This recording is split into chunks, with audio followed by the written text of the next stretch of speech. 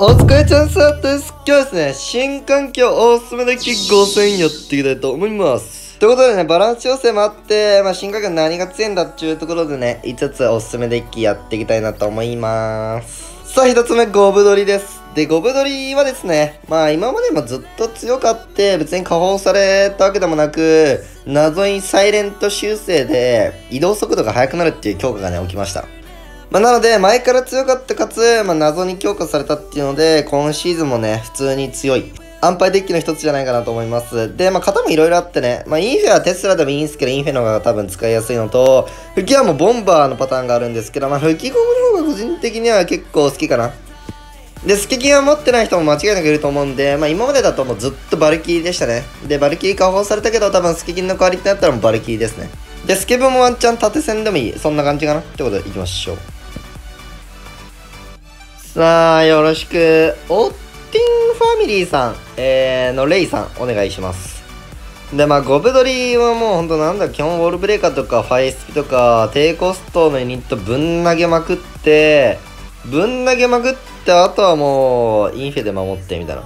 基本ぶん投げまくるのが大事ですね。さあ、テスラ、LSP ウッド、まあ、クロス、ホグ、まあ、どっちかかなって感じかな。いやー、クロスですね。いやー、これもうね、インフェ、もう一枚いきたい。さあ、いや、カバーが来る。本気でやりに来てます。助けてほしいです。まあでもこれは、頑張ってんな、スケキンが。スケキンのスキル使ってあげて、まあどっちかはね、残るよね、の。いや、いいんじゃない？ウッド使ったよいや、いい、もう、大量、大量、大量、大量、大量、大量、大量。さあ、もうこんだけダメージ入ると、僕のがもう結構気楽にね、戦えるかなっちゅう。さあ、で、相手、今コストがちょっとない方なんで、今の間にこうプレッシャーかけてあげてますね。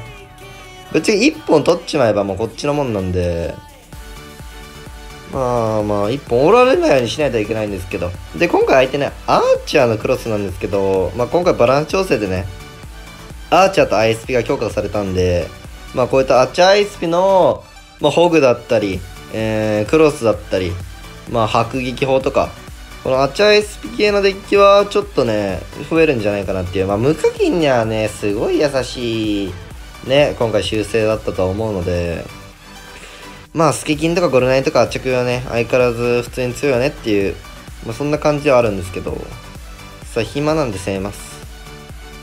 こスキル、押しにオールブレイカー1体あれいくよな。ウッドが？天才のタイミングのウッドが来る。さあ、天才来た。で、これ、相手、あれ使ったったなんで、あれ？いや、めっちゃいいです、来た。さあ、あ、でも、インフェのタゲ取りが早すぎて やばくね今の。インフェね、そういえばちょっと前に修正されてなんか強くなってたっすね。いやー、痛い。ファイスピーたまたま飛ばねえかな。まあでも、やっぱこのね、ちまちま稼いだダメージのおかげで、なんとかなってる。さあ、これ受けちゃうんですけど、コストもったいないんで、出しちゃおう。で、まあ、スキキンで、ドリルか。で、ずっと手前だったんで、たまにはね、裏に飛ばして、攻めファイブも添えてあげるとね、相手もね、そう、いや、いい防衛やん。普通慣れなくてね、みたいなのあるんですけども、めちゃくちゃいい防衛されてます。で、まあ、相手はこれね、来るしかないんで、もう警戒だけね、しとけば、いや、早いですね。いいべ強っ ね。でさ、まあ、あとはゴブドリーオールブレイカーでセムファイブブッパを2周すれば、さあ、さすがにね、どっちか、てかもう、ファイボダメージでね、勝てますね。であとはもうインフェで時間稼いであげて、逃げ切りかな。まあ、最後もこっちでもいいんですけどね。ああ、それはうまい。さあ、マスケキン耐えて、ファイブ圏内なんでね。さすがにこれで負けたらね、もうあの 電波しかない。ここで電波来るぐらいですね。おい、さあ、ナイス。まあ、ゴブドリなマジで、大会とかでもずっと使われてるからね。で、あと飛ぶのが速くなったからね、潜るのが。今までよりもね、ダメージちょっと稼ぎやすいですね。まあさあ、ということでこちらが一つ目でしたね。続いて。二つ目のおすすめ、キョスケバルルスパゲミラー、スケキンと、うん、すごいデッキできたね。はい。えー、ということで、まあなんか結構、キョスケマニアの方々がね、使われてるデッキなんですけども、あのー、まあこれがですね、本当にネタじゃなくて、今の環境、なんとグラチャレだと勝率が一番高いっていうので、グラチャレする方はぜひこのデッキ使ってみてください。勝てます。まあ単純にキョスケのね、強化がやばいっすね。あいらんかったんちゃうかっていうので、キョスケが強いのと、まあ、ミラーも強いと。で、なぜか知らんけど、スパイキーも今ね、ミラーとの相性がいいのかわかんないですけど、増えてるんで、まあそういったところで結構環境カードぶっつめって感じかなまあね、使っていきたいと思います。さあ、みんよろしくで、まあ、なんか、使いにくそうですけど、もうほんと、キョスケスパーキーバレル組むだけなんで、ね意外とこうやることはシンプル、単純、あとあんまユニット出すカードもないので、まあ気持ち使いやすい方じゃ使いやすいのかな。ハマる人はハマるんじゃないですかって感じかな。で、基本スパーキー、ゴブリンバレル、キョスケのどっかをバー、あの、ミラーかな？そう、ミラーしていくって感じかな。まあ、まあ、なんでもいいですけどね、ミラーするカード。そうね、ちょっと相手から動いてほしい。それに対してスパーキー出したいけど何にもないし、相手も動いてくれないので、バレル飛ばし、あー、痛い痛い。おおお事故。トルネーミする人はね、あんまいないですからね。この人レアですね。いやー、しかも、タルババが16なんだね。え、てか、タル13やん、俺。いや、あの、バレル13はね、ん？わかりにくいな、俺、13のせいで。あれなんですよ。それ2個上のバレルはね、タルを耐えるんですけども、なんだ3つになってましたね。さあ、で、いや、今回の相手はね、まあ今んとこもう100ゼロのバルーンフリーズですね。なんで、まあ、ランバージャックを適当に足止めして、まあ、あとはなんか、トルネトルネとかでキング起動しとけばいいんじゃねっちゅう感じっすよね。これでもどうしよう。暇だな。スパーキー出して、うん。これなんならさ、いや、キング起動の方が良かったかな。インドラ来るんですよね。え、てかさ、なんか、キョスケの、おいや、相手なんかめっちゃ攻めてね。キョスケのバカがまず入ってんのと、スパーキーもこれで入るやん。で、このスケキンのスキルはいる？いらねえか。さあ、なんか知らんけど、あの、相手がただただ攻めすぎたことによって、ダメージは勝ってる。いや、これは、一周目足るかな取れないかなわかんない。いやで、これで、こうして、全部、まあ、スパーキーか、気をつけで回収かな。いや、これ逆サイさ、あー、いや、マジで、ミラ欲しい。ミラ欲しい。ミラね。いや、これはもう男の許容という名の虫。うん。で、インドラがマジでね、ハゲるんですよ。で、フリーズされるじゃん。なんで、まあ、これは別にしょうがないんですよね。しょうがないです。で、おしゃれに、こういうところを下げて、ダメージ稼いでいきます。ああ、いい。でも、相手にトルネ使わせましたね。お願い来ないでって祈りながら、キョスキは強いっすね。まあでも、キョスキしかない。もうバルーンが止まらん。あと真ん中スパーキーもワンチャンあり。おしゃれに行こう。待って。おい、ええやん、ええやん。で、えー、スケキン出して、もうね、カード回すのが大変だね。ただただ。ハンター出しても良さそうだな。だってバルーン2枚あるよ。よいしょ。さあ、パッキンが？えい、ー、来ない。ここではもう抑えていきたいな。いや、このなんかハンター2体さ、残ってんのもったいないな。まあ、対空がもうね、ないんで、しょうがないんですけどね、この、なんだろう、もう、ハンターがこうなっていくのはね、ハンターしかないんだよ、対空だって。よーく考えたら。さあ、で、ここは、ランバー来ても、これができるっす。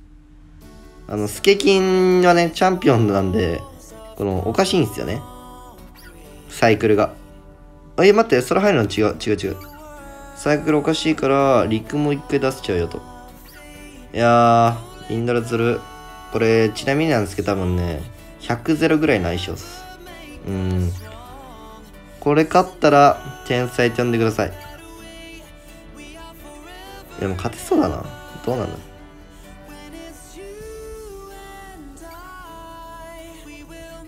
でバカは無理たくないんででもベビーは言っちゃう。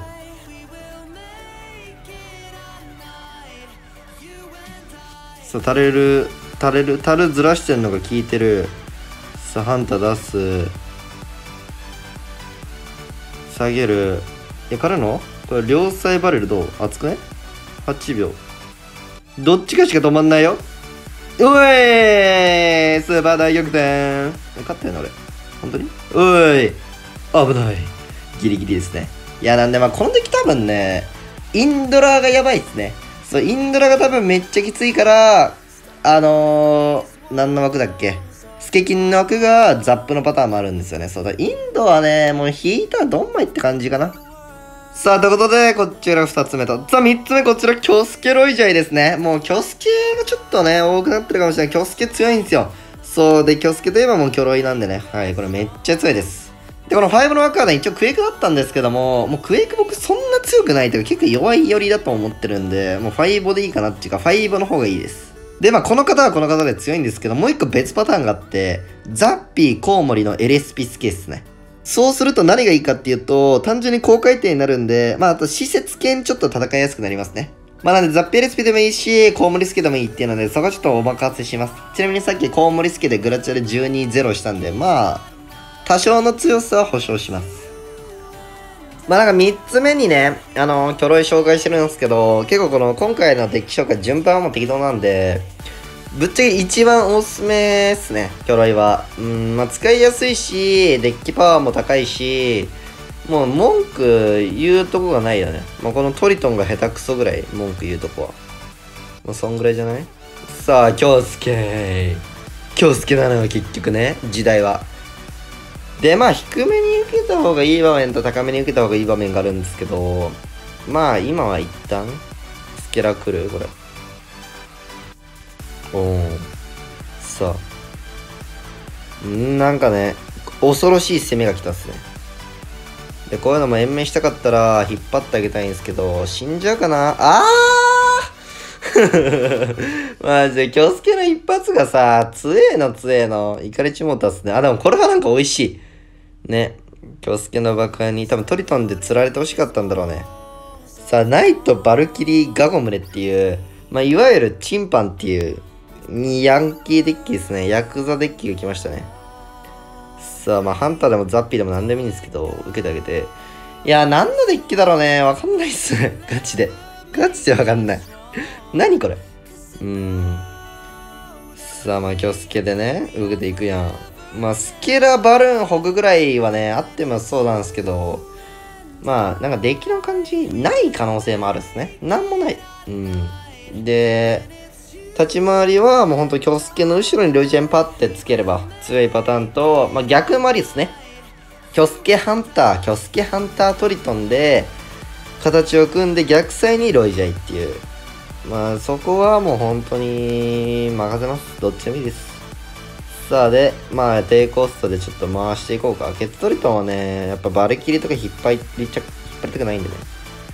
ワオさあで、ここに関しては、うん、どうだろう。別にロイジャー行ってもいいですけど、ここね、行かなくてもいいっていうのがあるんでね、一旦あの、冷静にね、守りたいと思います。まあ、バックうわ、すんごいな、これ。相手、お祭りしてる。で、キング起動は、まあ、できればいいんですけど、多分ね、むずいので、しないっすね。多分正解かな。で、バカで多分ある程度飛んでくれる。ん？あれ？爆破がさ、あれ？バカした京介？ちょ、待って待って待って。あの、京介のバカが俺あると思ったんですけど、まあいいや。で、ミリ残りの京介とかだったら、前にロイジャイつけた方がいいですね。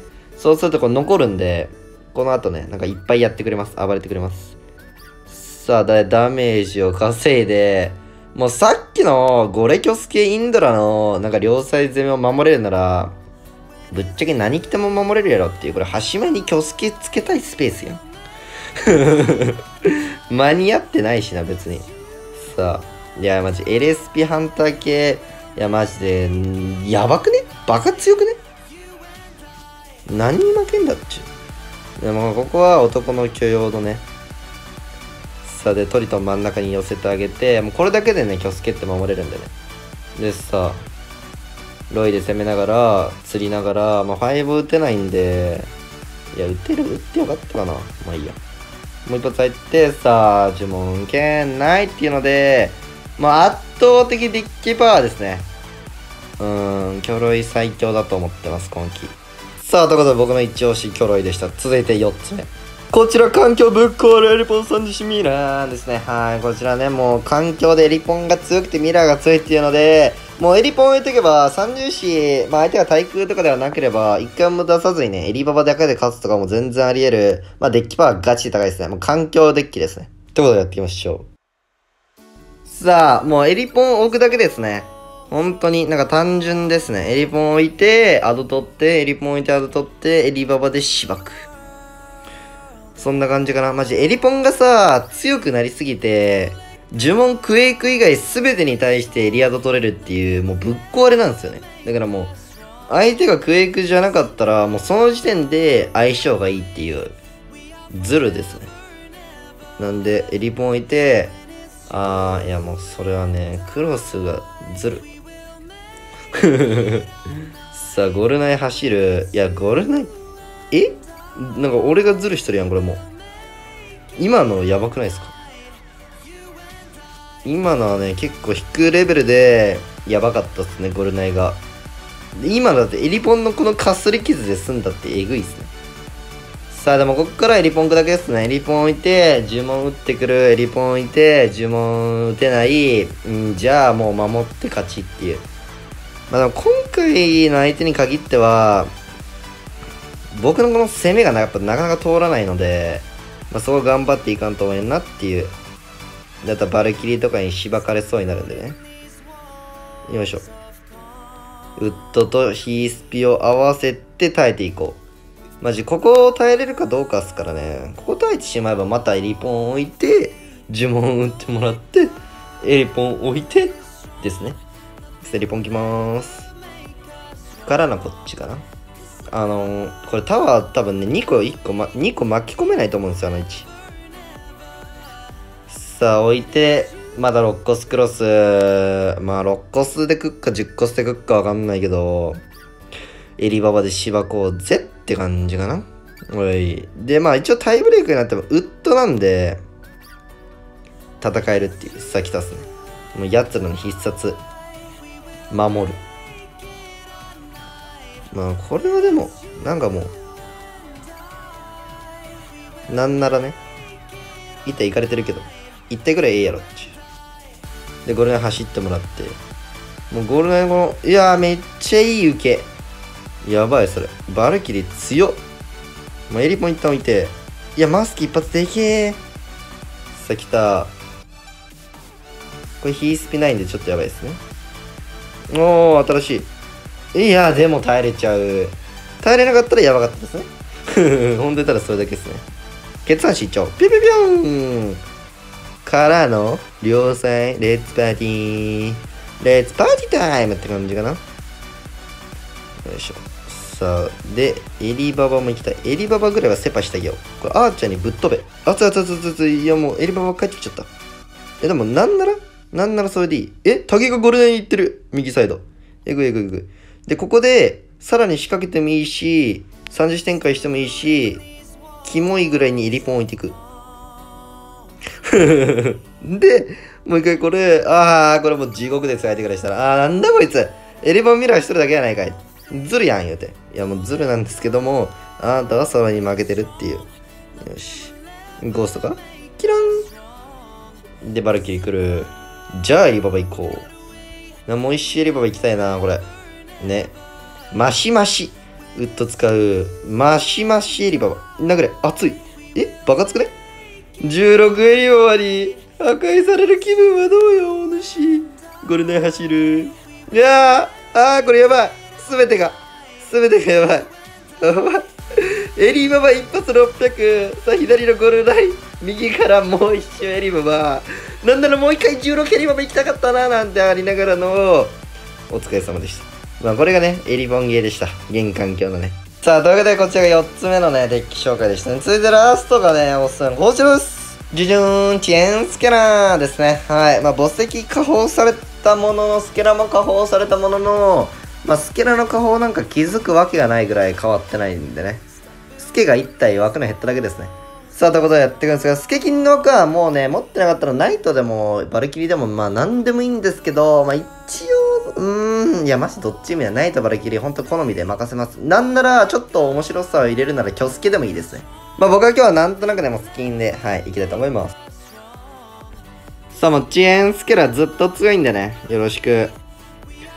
で、まあ、ほんとなんだろうな、遅延スケラ。なんでこんな強いんだろうな。もう守ればいいっす。簡単に言うと守ればいいっすね。そう、もう一生攻めなくていいんですよね。なんか攻めるから負けるんですよ。そのスケラデッキって、基本防衛がめっちゃ強いようにできてるんですよ。で、スケラって一回打っとけばある程度ダメージが入るんですよね。っていうので、打てばダメージ入るから、序盤から打ちたくなっちゃうんですけど、序盤打つとカウンターで終わるので、まあなんか、インキャしといてください。スケルトンラッシュも防衛からだと思ってね、守っていけば、勝てます。さあ、守ります。で、それまではずっとこう、樽とかで、読んでいく。まあ、なわけないけど、まあ、時間稼いとけばいいんですよね。さあ、来る。うん、こういうのはめんどくさいですよね。ロイシャイ。施設ねえしっていう。で、まあ、ボスゲン耐えていきましょうか。で、まあ、ガゴ系でまたやられるんで、ビビトラ早く出すか、まあ、ステイって感じかな。間に合わなかったら。いや、スケギンのスキル使うかね、めっちゃ微妙なやつですけど、まあ、使わなくてよさそうですね。よいしょ。さあ、ベビーで受けちゃおう。いや、今回ですバランス調整でスケラが1体か。1体減ったんすけど、そこじゃないんですよね、多分。もう1体また減っても多分強いんですよ。多分。うん、強い方だと思うんですよね。そう、だからスケルトンラッシュの下方はね、むずいっすね。でも最近で言うと、うーん、なんかスケラっていうか、スケキンも強いし、うーん、スケキが強い。だからもうスケルトンの性能をワンチャンなんか下方してもいいんじゃないかっていう気もしないことはないけどね全体的なダメージ量を下げるとか攻撃速度でもいいですけどねスケがもうだって強いもんっていうねさあで僕はまだ今んとこ一回もね攻めてないんですけどこれ相手がなんか芝5とかそういうことしだすとあじゃあ暇なんだなっていうのでカウンターでねまあ、ポイズンも一緒に打っていけばいいですね。今回ガゴとかギャン、ヤリゴブカーいたんで、対スケラも相手カードあるんでね。さあ、で、スケラをね、打つ位置、これね、覚えておくとめちゃくちゃいいんですけど、もうね、すごいいろんな位置があるんですけど、と待って、一旦守りたい。あーいや、これ許容して打っちゃよかったね、今。お？これなんか、ステキンのスキル打っとけば、なんとかなりそうな場面が来た。なんならコストがない読みのスケラ。なんか手前に自分のユニットがいるときは、スケラをこう奥に打った方が、あのまあ前のユニット向けないといけないし、裏からスケラがめっちゃ開くんで、めっちゃいいみたいな。で、逆に相手に吹き矢とかマザネクとかがいると、奥に打っちゃ打っちゃうと、もう奥の方の、あの、マザネクとか吹き矢にしばかれ続けるんで、相手になんかスケラを対処する後ろ目のカードがあるときは、ちょっと手前にスケラ打ったら、相手のマザネクとか吹き矢とかが結構前の方に歩いてくれるんでね。そうすると処理もしやすいっていうので、良かったりもする。そう。なんで意外とこのスケラを打つ位置、1枚2枚でも結構変わるんで、でもなんか多分ここをもう僕守れば勝てそうなんですけど、どうなんだろう。守れねえのかな一回あの、おとなしくね、行きます。大体もずっとなんかスケラ警戒してコスト使っててくれるんで、よいしょ。まあ、ファイブ来そうだなこれでも許容、矢が飛んできたら攻めるぐらい。さあ、ここは、まあ、ベビーからの一応スキキンのスキルも使って、奥ですね。で、奥でポイズン打ったら、あげると、馬場とかで守ってきた時にもね、ベビードラがタワー攻撃して、みたいな。さあ、きつそう、きつそう。うん。スケラをね、マジ前に打つか、後ろに打つかだけで、あ、待って、俺なんでスケキンこっちに出したんだろう。余裕で逆でしたね。さあ、まあ下げながら、まああとはもう僕守れば勝ちだからな。ケラポイズン打って終わりかな。まあスケラ、うん、言ったら運ゲーなんでね。そのスケラが入るかどうかって。そう。まあダース1だけ工夫して、まあ、あとはもう祈っていけば結構ダメージ入ってくれるんで、普通に初心者とかにもつけやすいね。結構カードパワーあるデッキだと思います。さあ、ということで、5つ目はスケレでしたっていうので、まあ、振り返ると、ゴブドリ、京介スパーキー。まあ、これちょっと癖強いですけどね。まあ、環境ですね。で、キョロイ。いやー、これ一押しです。で、リポン三子、環境最強、チェンスケラ万能型っていう感じで、まあまあ、どのデッキも結構チャンピオンの代わりがある程度あるので、まあ、三子だって言うのでもいいのかな？はい、ぜひ使ってみてください。という声がもね、ぜひお願いします。では、お疲れ様でした。またね。